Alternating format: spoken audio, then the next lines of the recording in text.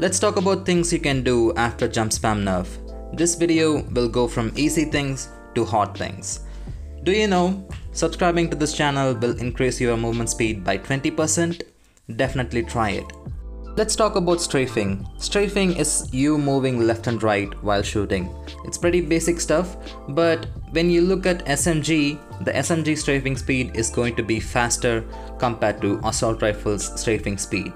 LMG are going to be even slower. So when you're strafing, using SMG gives you best results and if you're using assault rifle, it's better to hip fire. In close combats. Next up, we have crouch spamming. It's basically you spamming the crouch button. Don't do it too fast because it would look like this. You should do it normally and doing crouch spam makes your hitbox go smaller and bigger so the enemies are going to have a hard time hitting you. It also increases accuracy so you should use it in close combats. Next up we have melee spam. This feels really fast this season. I did a 1v3 yesterday only doing punches so definitely make use of that. Next up we have wall bouncing.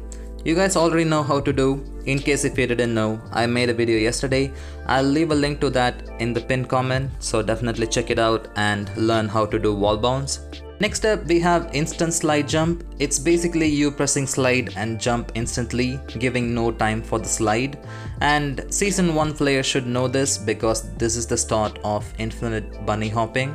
This is going to be useful in close combats because it's going to catch your enemies off guard and you cannot shoot when you're mid-air because of the bullet spread but this will work as a dodge more than a fighting technique and it's going to be really useful.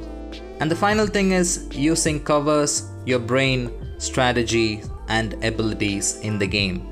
You cannot be jumping out in the open doing 1v3s anymore, that's what I think. So you have to play strategically if you want to win 1v2s and 1v3s and even the game. So what do you think about this? Let me know in the comments and I'll see you guys in the next one.